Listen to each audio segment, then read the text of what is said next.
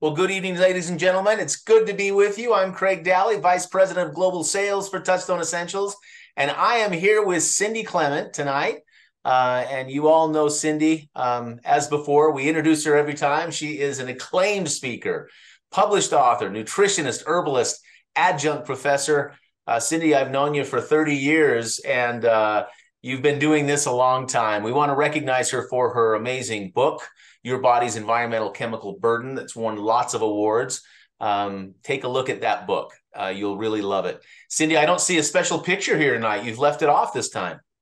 I know I didn't get it up in time. My I'll do it next time. Uh, my granddaughter was here for the weekend, and we did carrot juice and celery juice and apple juice, and it, they're just adorable. She fell in love with the carrot juice, so now I've got a. I'm teaching her to be a health nut, actually. So. Good for you. Good for you. Starting them young, right?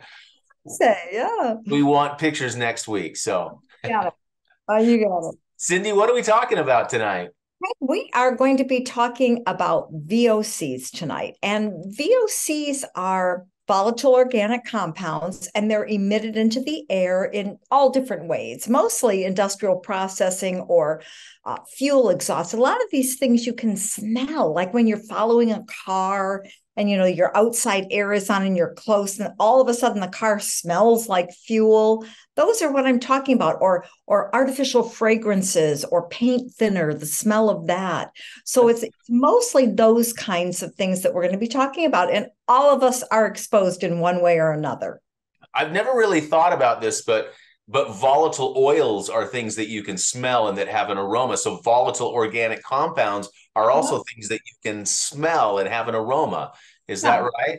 Okay, that's, that's an interesting way to look at this. I haven't really thought about it that way. That'll help me remember. Yeah, but I, I don't like that they're called volatile organic compounds because people think organic means that it's good. And these certainly are not, as we'll talk about tonight. Well, awesome. We're excited to learn all about it. Take it away. Okie dokie. So there are about um, there are many, many different types of, VOCs, but there are, are about 10 that are regulated, fairly regulated by the EPA. But the top five are known as BTE XS, and you can see them here the benzene, uh, toluene, um, uh, ethylbenzene, xylene, as well as styrene. And they're they're in this family of compounds that again that we are all regularly exposed to. So what i want to do tonight is is take a look at where we are exposed to these chemicals um, and and one of the things is the artificial fragrances. So you you talked about the essential oils. Well that's a, a very um, plant odor that we are smelling, not an artificial. So these artificial fragrances that are added to household products, the cleaning products and things like that, there are several hundred of these that are classified as either hazardous or even toxic under federal rulings. And when these chemicals are mixed into the air, this is when they're inhaled, you know, by by the occupants. Oops, I want to go back to that slide for just a minute. There was a study, I thought this was interesting, done on common, so very, you know, uh, laundry products that are fragrance that are very common, not these obscure ones, but something, and they don't never really name the products in these studies, but they looked at laundry detergent as well as dryer sheets.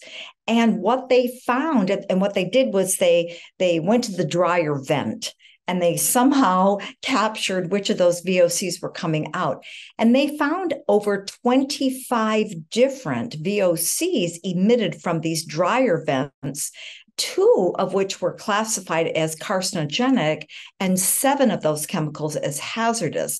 Um, and the, the important thing to note is that none of these VOCs are listed on the label, the product label, because having these chemicals on the label is not mandated on a household product only on our food products and our personal care products. So we're breathing things as we clean our home or our car or things like that with We have no idea what's in these products. Um, oh, think about fragranced candles that people light, you know, or those those plugins that people. I, I I remember going into somebody's home years ago, and in every room they had this thing plugged into the wall that was clear and it had liquid in it. And there were these awful, awful smells coming from each and every room. And this person says, Well, I like the way they smell. And I was there for less than 10 minutes and couldn't believe how my head felt because I'm not used to that kind of stuff, right? So it's it's just fragrances that are emitted sometimes. And I know I've talked a lot about bottled water, but if you need one more reason to get rid of the bottled water, the traces of VOC compounds leach from the plastic bottle into the water, especially under high temperatures and humidity. And the VOC concentration also increases with exposure to UV light as well as storage time. And in fact, researchers found that after just five months of storage in sunlight, of bottled water, the concentrations of xylene and ethylbenzene increased expo- exponentially. And then toluene was found in every single sample of water or, or, bottled water, regardless of whether or not it was uh, directly affected by sunlight or stored in the sunlight. So there's just you know so many ways that that that we become um, exposed to these different chemicals. Now, I'm sure you don't have these statistics in your head, but studies report that we only, as humans, only spend adults, that is, two to seven percent of our time outdoors we spend another 1 to 7% of our time in an enclosed motor, motor vehicle and about 80 to 93% of our life indoors. And that means our homes, our churches, our malls, you know, our, our occupation, all of that. And, the, and these indoor levels of toxic chemicals often exceed what's in the outside by anywhere from two times to 100 times greater. And it's not, like I said, just the fragrances that are the problem. Um, for instance, if we're this indoor exposure can occur from breathing the vapors that come from products that contain something called benzene. And, and benzene is found in, oh my goodness, so many things. It's found in paint. And so think about remodeling or or even just, you know, uh, sprucing up your home on the inside. It's the paints and the thinners and the varnishes and the glues and the ad- and the adhesives and the, the cleaning things, the detergents, the mothballs, the furniture wax, or even personal care, the nail polishes or the hair dyes or art supplies or or things like that, like marking pens or or things. So as well as if you smoke in a cigarette indoors, the benzene is one of the most dominant toxins in cigarette smoke. And of course, has been associated with an increased risk of leukemia.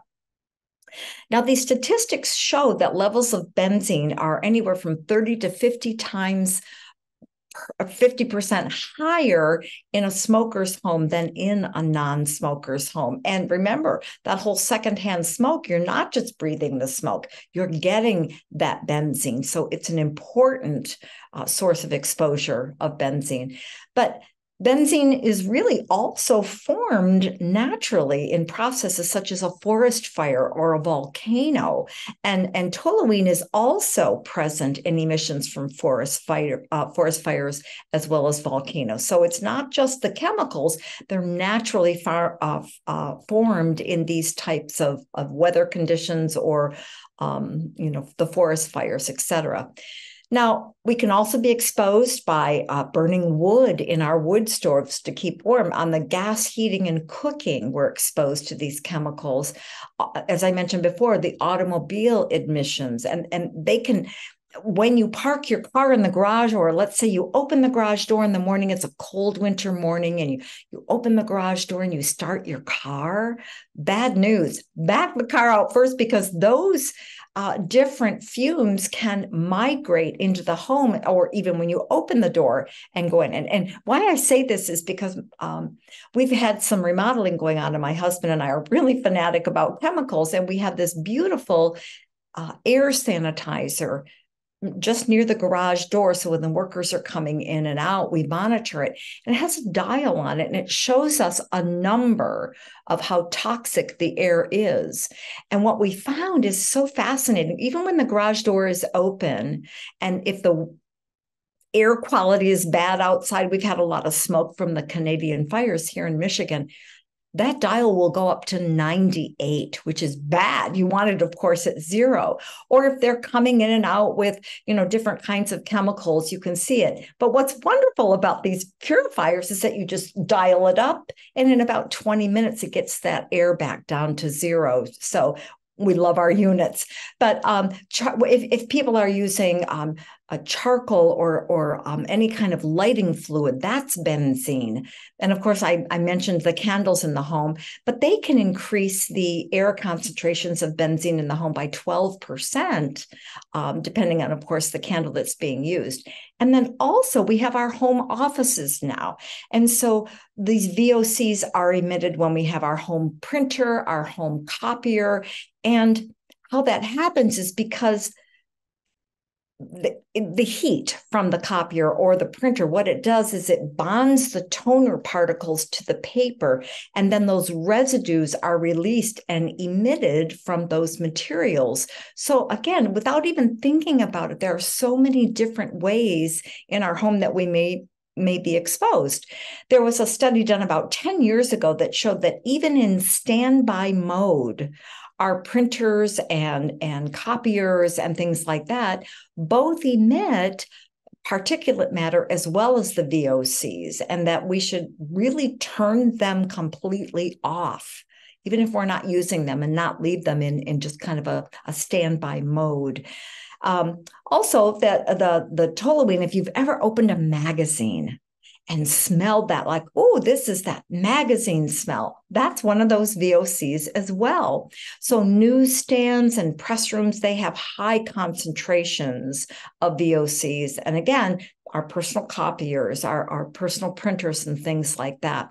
But we can also, as I mentioned, be exposed to these VOCs through our building and renovation materials, our, our furniture, um, art supplies, and things like that.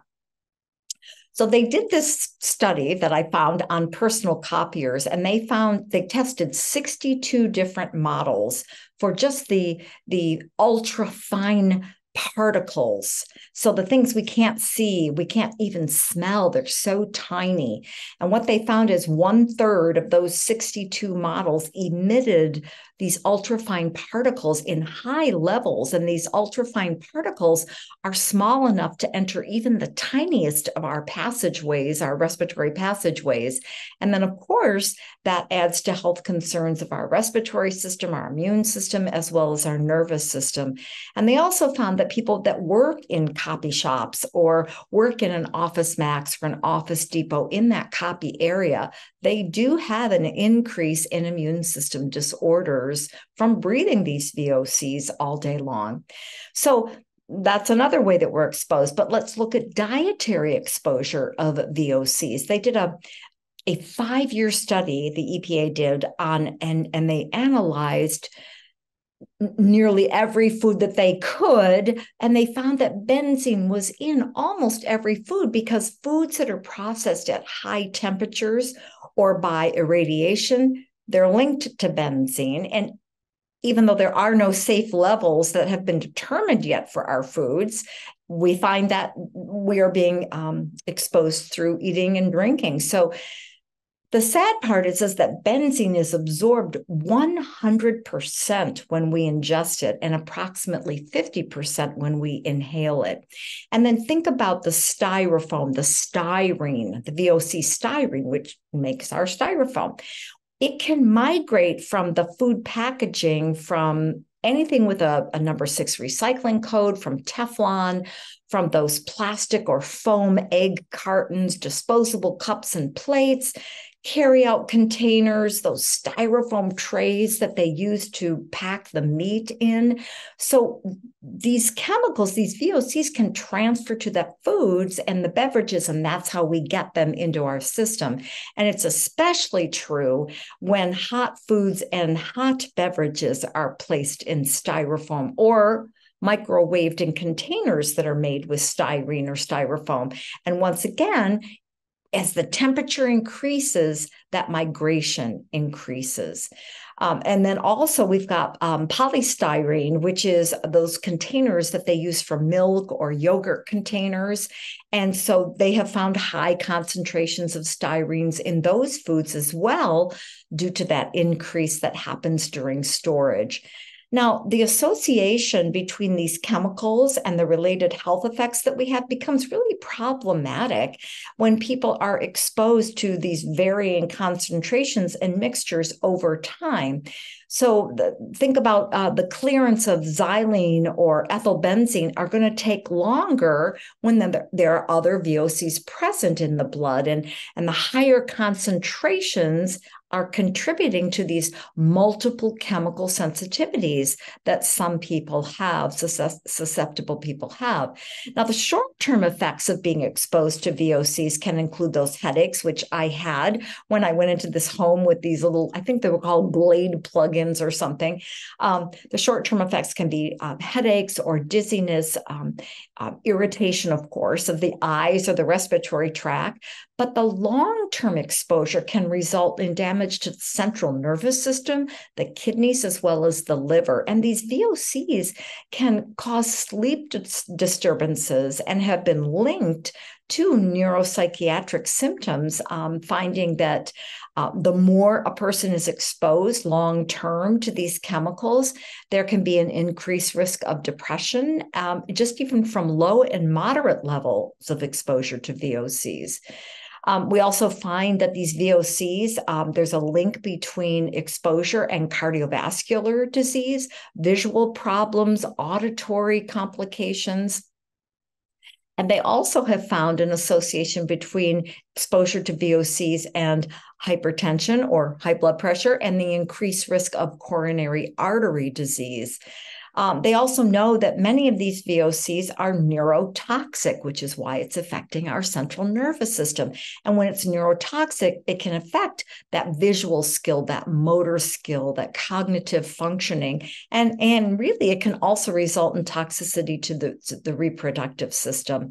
Now, the interesting thing is some of these VOCs, like xylene, their levels increase in those that have more adipose fat tissue because as we've mentioned before many of the chemicals are are they love fats. They love fats. They love storing in fats. And so once absorbed these chemicals circulate through the system and these highest levels then are deposited into fat, which is just another reason that we need to be mindful of weight management, if, if nothing else, to, to know that these toxicants are stored into fat, which is why if a person isn't detoxifying when they go on a weight loss program, they feel miserable because as the fat cells shrink and these chemicals enter the bloodstream, they literally feel toxic. They've got headaches, they feel awful. So it's always important in a weight loss program to make sure that people are detoxifying as well. Now, when it comes to pregnancy and nursing, the research is showing that the, some of these VOCs, especially benzene, can pass from the mother's exposure to that fetus. And benzene itself has been detected in cord blood, it's been detected in breast milk, and it's also been found to cause an increase in the incidence of premature birth. We also know that nursing infants can be exposed to these VOCs through breast milk. Um, and that older children, so not just the infants or in the womb, but the older children can also be affected by these VOCs, especially again the benzene, and and the and their exposure has been associated with wheezing and asthma and bronchitis and things like that. So, again, as these toxicants pass from the mother up through the placenta and through the the breast milk, it can become problematic. Now, there's a chemical that the uh, toluene.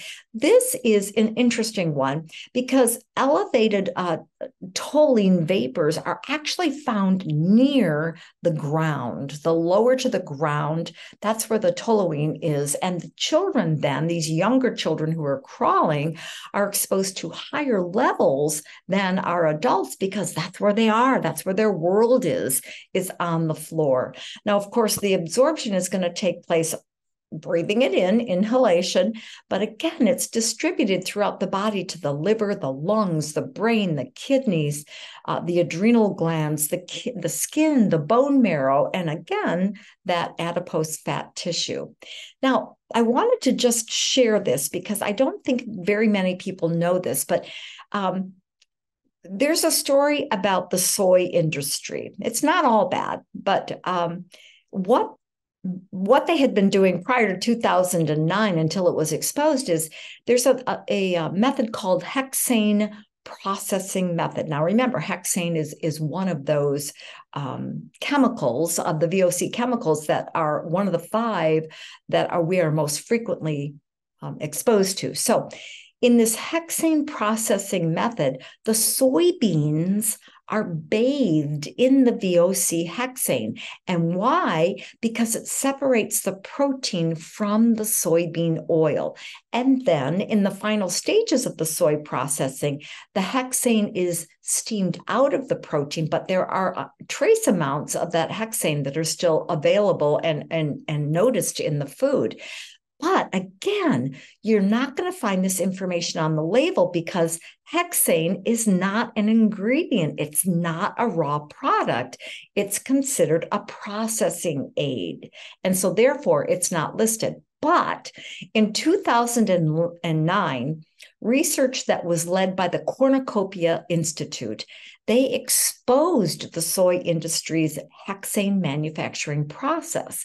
And since that time, oh my goodness, many, and I would say the majority of the natural food companies changed their extraction methods to something called hydraulic expeller pressing. And this is important to note because the hydraulic expeller processing extracts 25 to 45% less soy protein than the hexane does. So these companies are saying we're going to have to charge a little bit more, but at least you're not going to be getting this volatile organic compound. Now, as you look at this list on the slide, these are deriver, de- derivatives, derivatives, goodness gracious. Um, I haven't had a lot of sleep lately, so bear with me here.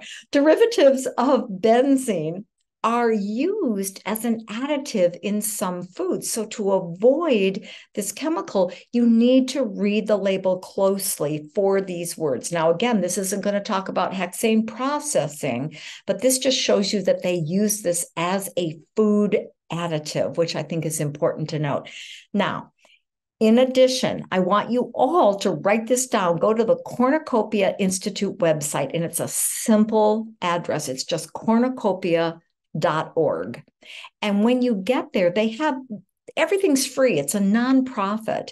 They have a free publication that has information on snack bars and meat, vegan and vegetarian meat alternatives that have been manufactured using hexane solvents so that you when you if you are vegan and you're using a, a, a meat alternative you can buy the better product that doesn't have this but it's also very important to note that hexane processing is prohibited in any food that is labeled organic. So as long as you're organic, you don't even have to read the labels or go to Cornucopia Institute. So again, it's just cornucopia.org.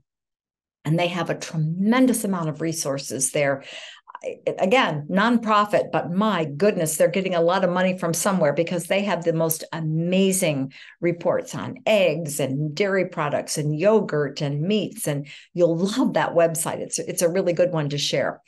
Now, huh, In addition, we want to avoid exposure when working. If you have an art studio or if you have a hobby studio, remember to use adequate ventilation or get an air sanitizer. Um, I know it sounds silly, but when you're operating your snow blower or your leaf blower and you're breathing all that stuff, it's not so good for you. And you may want to consider wearing a mask. I know we're we hate these masks, but my goodness, you know, think about the toxicants. You can check your personal care products for benzene content and many other chemicals at the Environmental Working Group's website called Skin Deep. And to find that, all you have to do is, is just Google EWG for Environmental Working Group, EWG skin deep and it'll take you right there and then of course you can go through your every personal care product you can go through your cleaning products and find the ones that are safest for you now all of that said, we do need to support our liver to assist our body's detoxification processes. So there are a number of foods, as you can see on the slide, that are known to support the liver, um, including things like um, beets um, and, and beetroot and things like that, and, and carrots. So Several studies have shown that beets and beetroots, which are all again in super green juice, they help reduce the oxidative damage and inflammation in our livers. They also increase our natural detoxification enzymes in our body. And of course, carrots are famous for keeping our liver clean. They also reduce the, the fatty acids in the liver, which can on, a, on, a, on a, another basis reduce the cholesterol level in our body. And when it comes to the green leafy greens are uh, uh, the leafy greens that are in super green juice like chlorella or kale or spinach they are loaded with antioxidants and fiber. And they too because of that green it's that if you're green inside you're clean inside they help to clean the blood the bloodstream as well as the liver. And then when it comes to blueberries and cranberries, a study showed that when a person was consumed, you know in their in their study when people consumed blueberries and cranberries for just 21 days just 3 weeks it showed protection of the liver from damage from um, um, toxicants in the body um, and, and, of course, blueberries also increase our immune cell response and have those antioxidant enzymes in them. Also in super green juice, we have broccoli and cabbage, and they too are known for their high fiber content and their beneficial plant compounds. We know that broccoli and, and um, cabbage help increase detoxification enzymes and protect our liver from damage. And then, of course, green tea in the super green juice. Of course, that's considered beneficial for our health. And the evidence does show that it does have particular benefits for our liver. And then, of course, the milk thistle in super green juice, it aids the liver in detoxification. It helps protect the liver and the body from toxic compounds. It stabilizes the cell membranes to, to prevent the intake of the toxins and prevent the tissue damage of the cell membrane. It also stimulates protein synthesis in the liver. So that means we can create new cells, healthier cells. And there was a study published uh, by the National Institutes of Health in their in their Library of Medicine that actually says that and they say this evidence exists that milks milk thistle may be hepato liver protective through a number of mechanisms. So we know that that's a good one. And then of course dandelion which is also in super green juice it's long been held in folk medicine as a liver tonic. And the newer studies today suggest that it's due to its ability to increase the flow of bile in the body. There was a study done about six years ago that stated that dandelion was beneficial to liver function because it reduces the stress on the liver and it supports the liver's ability to produce that bile. So, dandelion can also help detoxify our liver and get those harmful chemicals um, out of our body. So, just, you know, a serving or two of super green juice a day is so powerful in supporting the liver to get these toxicants out of our body. Now, we talk about detoxifying the gut. In 2019, again, the National Institutes of Health, they published a study uh, with PubMed and indicated, of course, that zeolite purifies the internal environment of our body, that it helps to maintain the gut microbiota homeostasis, and it supports healthy brain activity. Um, and it really does improve the overall well-being of patients. And of course, Touchstone Essentials Pure Body targets the toxins in the digestive system and throughout the body, thanks to that optimal sizing that ensures that absorption. And of course, you know that Pure Body is that passive detox. It's gentle, it's safe, there's no digestive discomfort. I remember some of the cleanses from the 70s, and oh my goodness, you would take a, you know, do a cleanse, take a cleanse, whatever they called it, and you would just be on the toilet all the time. And it was so harsh. So think of how pleasant this is, is to have this passive detox that's gentle and safe and doesn't give you that digestive discomfort. So we can clean up our gut, we can support the integrity of that that wall in our gut, that that intestinal membrane, and we can populate our microbiome with the right balance of that healthy microbes when our gut is healthy. But don't forget the homeostasis of that endocannabinoid system that endocannabinoid system helps to regulate and balance all key body functions in our body.